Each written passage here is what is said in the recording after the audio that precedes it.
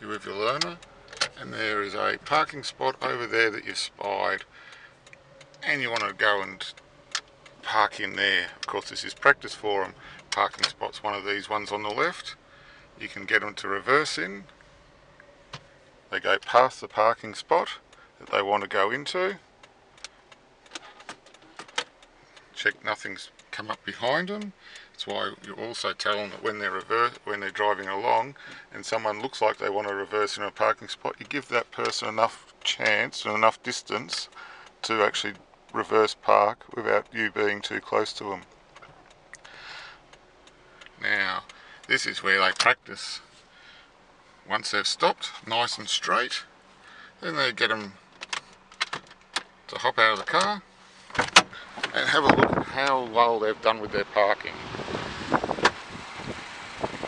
Say, look at that, it's not within the lines.